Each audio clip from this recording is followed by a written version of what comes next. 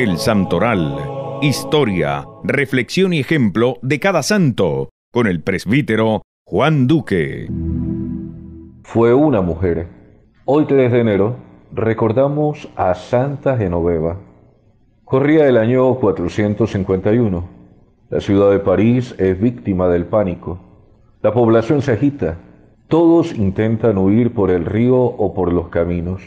Los soldados del rey Atila están ahí cerca invadiendo ciudades, destruyendo y matando, saqueando y robando, cuando he aquí que aparece una figura de mujer junto al río Sena. Tiene un velo oscuro en la cabeza y pide tranquilidad. Calma, pueblo mío, Dios está con nosotros. Es Genoveva, gritan todos. Con firmeza pide que regresen a sus casas, que vayan a las iglesias. No les pasará nada a la ciudad. No fue fácil calmar a aquella multitud, víctima del pánico. Está loca, ¿cómo nos vamos a quedar aquí?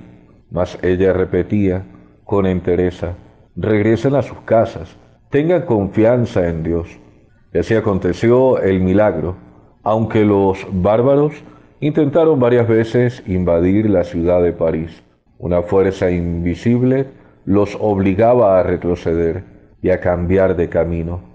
Por eso Santa Genoveva es hasta hoy la patrona de París.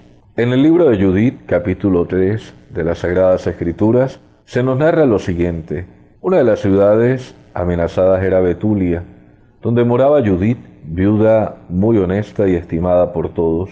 Delante de los ancianos ya desanimados, manifestó la resolución de salvar la ciudad usando artificios consiguió entrar en el campamento de los invasores, hizo amistad con Holofernes y una noche le cortó la cabeza mientras dormía. La muerte del jefe provocó la huida de los enemigos. Judith fue aclamada como salvadora de Israel. Pidámosle a Dios que envíe muchas mujeres como Genoveva, que aplaquen los ánimos, que nos conduzcan a la paz y que nos ayuden a ver su victoria en medio de nuestro caminar.